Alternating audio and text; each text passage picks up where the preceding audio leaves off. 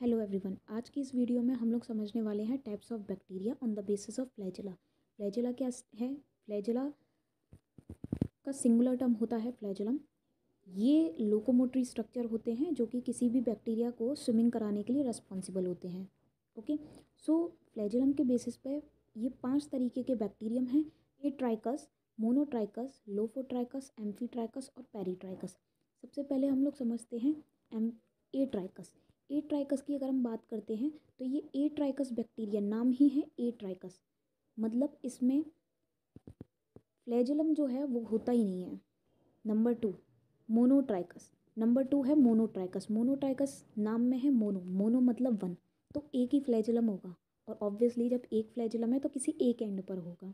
Okay number third number third है lophotrichous जैसे कि आप लोफोट्राइकस में देख सकते हैं लोफोट्राइकस में भी एक एंड पर होता है। फ्लैजिला लेकिन एक नहीं होता मतलब फ्लैजिलम नहीं होता, बहुत सारे होते टफ्ट ऑफ़ फ्लैजिला होता है। ठीक है? बहुत सारे फ्लैजिला होते हैं।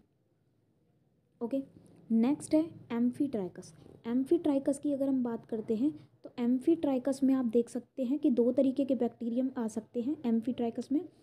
मतलब दो तरीके के क्या नाम है? एम्फी एम्फी मतलब होता है डुअल ओके तो दोनों पोल्स पर, दोनों पोल्स पर फ्लैजिला या फ्लैजिलम होंगे। मतलब बहुत सारे फ्लैजला भी हो सकते हैं और सिंगल एक फ्लैजलम भी हो सकता है।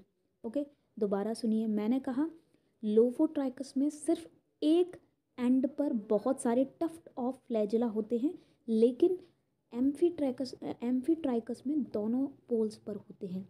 एक भी हो सकता है मतलब एक एक दोनों पोल्स पर भी हो सकते हैं या बहुत सारे दोनों पोल्स पर हो सकते हैं। इसके बाद नेक्स्ट आता है पेट्रीट्राइकस, पैर, पेरीट्राइकस। पेरीट्राइकस की अगर हम बात करें तो पेरीट्राइकस में चारों तरफ़ होते हैं। बहुत सारे फ्लैजिलम होंगे जो कि चारों तरफ़ होंगे, सिर्फ़ पोल्स की बात नहीं होगी। ओके? सो ये कुछ टाइप हैं बैक्टीरिया के on the basis of flagellum अगर आपको ये वीडियो हेल्पफुल लगती है तो आप इस वीडियो को लाइक कीजिए और शेयर कीजिए, चैनल को सब्सक्राइब ज़रूर कर देना।